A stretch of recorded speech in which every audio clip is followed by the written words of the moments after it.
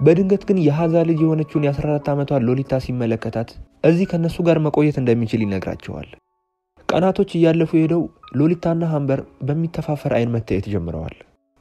ሎሊታ 14 ዓመቷ ሀምበር 50 ዓመቱ ቢሆንም በሚያስደነግጥ ሁኔታ ሁለቱም በዚህ ሰዓት መፈላለግ ስሜትን እያሳዩ ነው። ሰላም የትንሿ ሲኒማ ቤተሰቦች እንዴት ናችሁ? ዛሬ ትንሽ ቆየት ያለና እጅግ አስተማሪ የሆነን ሎሊታ የተሰኘ በእውነተኛ ታሪክ ላይ የተመሰረተን ፊልም አብረን እናያለን።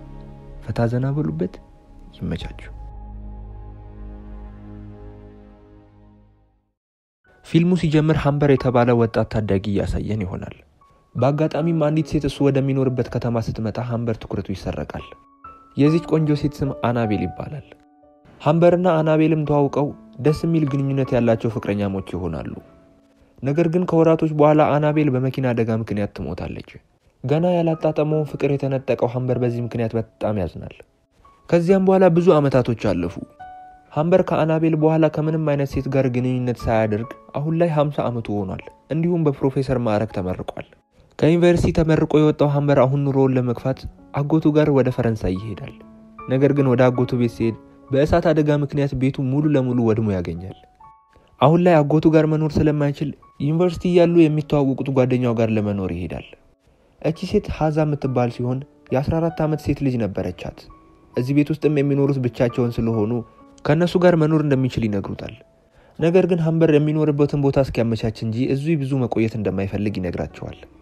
በድንገት ግን የሀዛ ልጅ የሆነችውን የ14 ዓመቷ ሎሊታ ሲመለከታት እዚህ ከእነሱ ጋር መቆየት እንደሚችል ይነግራቸዋል።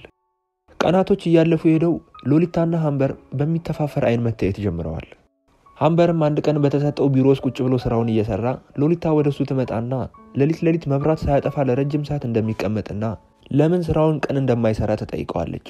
እሱም የሚጽፈውን መጽሐፍ እስኪጨርስ ድረስ ቀንም ሆነ ማታ አንድ ላይ ሳያቋርጥ እንደሚሰራ ይነግራታል። ሎሊታም ተነስታ እግሩ ላይ በመቀመጥ እየተሳሳቁ ማውራት ይጀምራሉ።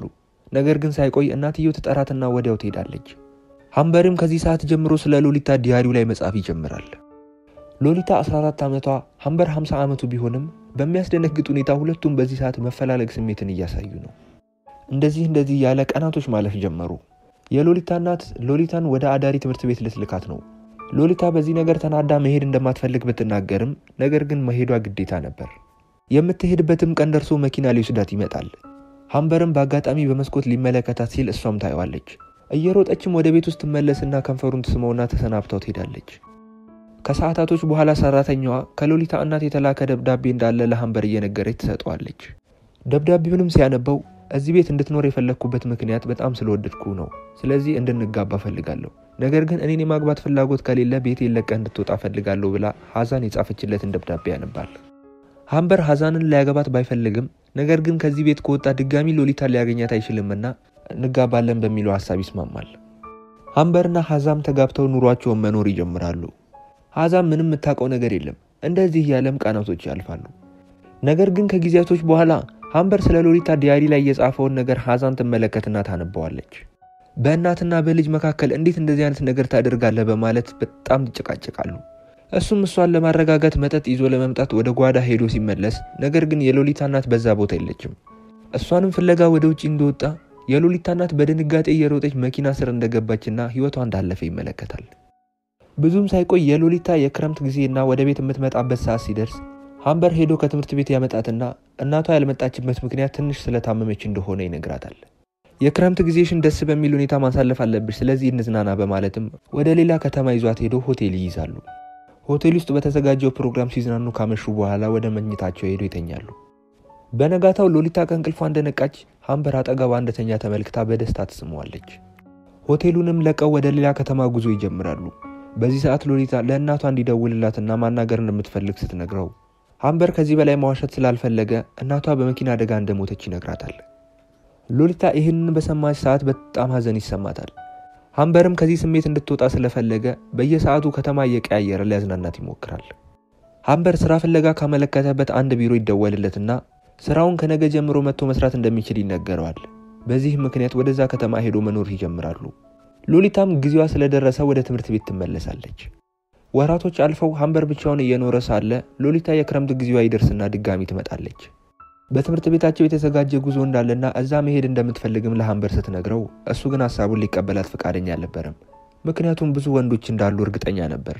ነገር ግን እሷ ጨቅጭቃና ለምና እንደምንም ታሳምነዋለች።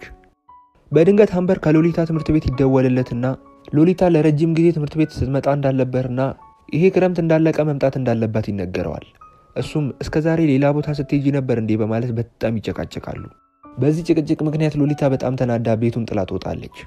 ሀምበርም ለቀናቱ ሲፈልጋት ከቆየ በኋላ በአንድ ቀን ያገኛታል። ለተፈጠረውም ነገር ይቅርታ ይጠያየቁና መንፈሳቸውን ለማደስ መዝናናት እንዳለባቸው አስበው ጉዞ ይጀምራሉ። ከሀገር ወደ ሀገር ከመዝናኛ ወደ መዝናኛ እየተጓጓዙ በድንገት መኪና ውስጥ እያሉ አንድ መኪና ከኋላ እየተከተላቸው እንደሆነ ሀምበር ይመለከታል። ሀምበርም ሎሊታን የመኪናውን ታርጋ ቀስ ብላ እንድትጽፍ ይነግራታል። ከረጅም ሰዓት ጉዞ በኋላ ግን ሲከተላቸው የነበረው መኪና በድንገት እነሱን መከተል ያቆማል። ከሁለት ቀን በኋላ በድጋሚ እነ ሀምበር በመኪና እየሄዱ በድጋሚ ያ መኪና እየተከተላቸው ሀምበር ይመለከተዋል። ሀምበር ከመኪናው ወርዶ መኪናውን ሊይዘው ቢሞክርም ሰውየው ወዲያው ቶሎ ብሎ ይጠፋል። ሀምበርም ወደ መኪናው ተመልሶ የዚህ መኪና ታርጋ ጻፊ ብዬሽ ነበር አደል ወረቀቱን ስጭኝ ይላታል።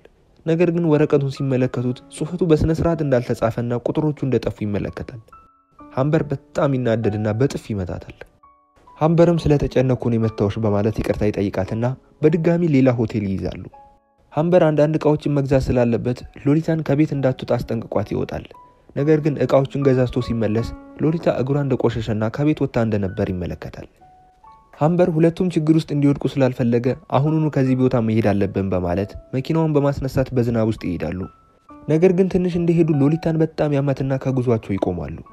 ህመሟም ከፍተኛ ስለነበረ ወደ ሆስፒታል ያደርሳታል። በማግስቱ ጠዋት ሀምበር ከሆቴሉ በመውጣት ሎሊታን ለማግኘት ወደ ሆስፒታል ይደውላል። ዶክተሮች ግን ጤንነቷ ስለተመለሰ አጎቷ መጥቶ እንደወሰዳት ይነግሩታል። ሀምበር በሰማው ነገር በጣም ይደነግጣል። በፍጥነት ወደ ሆስፒታሉ ተመልሶ ማን ይዟት እንደወጣ ሲጠይቃቸው ስለ ሰውየው የሚያውቁት ነገር እንደሌለና አጎቷ መሆኑን እሷ ራሱ እንደተናገረች ይነግሩታል። ሎሊታን በየቦታው ቢፈልጋትም ሊያገኛት አልቻለም። እንዲህ እያለ ሶስት ዓመታት ያልፋሉ። ከሶስት ዓመት በኋላ ግን አንድ ደብዳቤ ከሎሊታ ይላክለታል። አሁን ላይ አግብታ እንዲሁም እርጉዝ እንደሆነችና ትንሽ ገንዘብ ስለሚያስፈልጋት እርዳታ እንዲያደርግላት እየጠየቀች እንዲሁም አድራሻዋን ከስር አስቀምጣለት ነበር። በአድራሻው መሰረትም ሎሊታን ሊያገኛት ይሄዳል። በሩን እንደከፈተች ከሶስት ዓመታት በኋላ ያያታል። ነፍሰ ጡር ሆናም ሆዷን በጣም ገፍቷል። ወደ ውስጥም አስገብታው ባሏ ካርል እንደሚባልና ለባሏ ደግሞ ሀምበር የእናቷ ባል ማለትም እንጀራ አባቷ እንደሆነ ትነግረዋለች። ሀምበርም ከዚህ በፊት ሲከታተለን የነበረው ሰውዬ እሱ መስሎኝ ነበር፣ ነገር ግን እሱ አይደለም ይላታል። እሷም ድሮ ሲከታተላቸው የነበረው ሰውዬ አሁንም ድረስ ከህይወቷ እንዳልወጣና በጣም እንደሚያስጨንቃት ትነግረዋለች። ሀምበርም ስለ ሰውየው ማንነት ትንሽ ትንሽ ነገር ሲጠይቃት የፒያኖ አስተማሪ እንደሆነና ቤቱም እዚህ አካባቢ እንደሆነ ትነግረዋለች። ሀምበርም ሎሊታ የጠየቀችውንና የሚያስፈልጋትን ገንዘብ ከሰጣት በኋላ መሄድ አለብኝ በማለት ይሄዳል። ነገር ግን የሄደው ሎሊታን ወደሚከታተላት ሰውዬና ፒያኖ ተጫዋች ወደሆነው ነበር። ሰውየው ሎሊታ ላይ ጾታዊ ጥቃት ሊያደርስ ፈልጎ ነበር እስከዛሬ ሲከታተላት የነበረው። ሀምበርም ምንም ሳያንገራግር ሰውየውን ቀጥታ ይገለዋል። ፖሊሶችም ወዲያው ጥሪ ደርሷቸው ወደዛ አካባቢ ይመጣሉ። ሀምበርም ወደ ፖሊሶች የደወለው ራሱ እንደሆነ በመናገር እጁን ይሰጣል። እናም ሀምበር November 16 በእስር ቤት ውስጥ ባጋጠመ አደጋ ምክንያት ይሞታል። በሚያሳዝን ሁኔታም ሎሊታም በወሊድ ላይ በጣም ብዙ ደም እንደፈሰሳትና ወዲያው እንደሞተች ታሪኩ እየነገረን ፊልሙ በዚህ ይጠናቀቃል። ተመልካቾች ፊልሙ ሊያስተምረን የፈለገው ነገር ሁሉም ነገር በጊዜው መሆን እንዳለበትና ያለ ጊዜው የሚደረግ የትኛውም ነገር ሌላ ችግር ይዞብን ሊመጣ እንደሚችልና ቦታ ቦታውን መያዝ እንደማይችል ነው። እንደተማራችሁበትና አሪፍ ቆይታ እንደነበረን ተስፋ አድርጋለሁ። በቀጣይ ቪዲዮ እስከምንገናኝ ሰላም።